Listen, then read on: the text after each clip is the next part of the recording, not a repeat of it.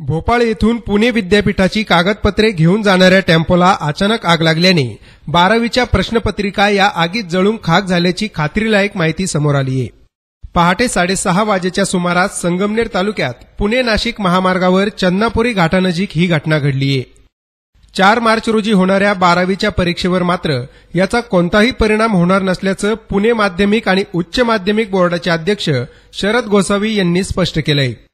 भोपाळ येथून पुणे विद्यापीठाची गोपनीय कागदपत्रे घेऊन निघालेल्या टेम्पोला संगमनेर तालुक्यातील चन्नापुरी घाटानजीक अचानक आग लागली. गाडीला आग लागताच ड्रायव्हर आणि क्लिनरने गाडी थांबवून खाली उतरत आग विझवण्याचा प्रयत्न केला. मात्र आग भीषण असल्याने आग विझवण्यात ते असमर्थ ठरले. टेम्पोच्या समोरच्या भागात अचानक आगीचे लोळ सुरू झाले आणि बघता बघता संपूर्ण गाडीने पेट घेतला. महामार्ग पोलिसांनी संगमनेर नगरपालिका आणि साखर कारखान्याच्या अग्निशमन बंबाच्या साह्याने ही आग आटोक्यात आणली आहे. मात्र तोपर्यंत गाडीतील बहुतांश कागदपत्रे आगीत भस्मसात झाली होती.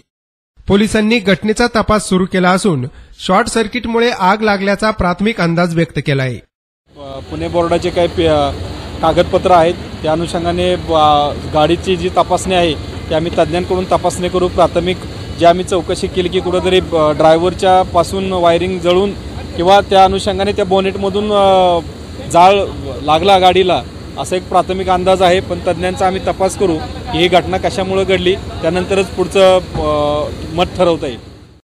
दरम्यान या घटनेची माहिती मिळताच पुणे माध्यमिक उच्च माध्यमिक बोर्डाचे अध्यक्ष शरद गोसावी सचिव अशोक भोसले विभागीय मंडळाच्या सचिव अनुराधा ओक सहाय्यक सचिव पोपट महाजन आदी घटनास्थळी दाखल झाले.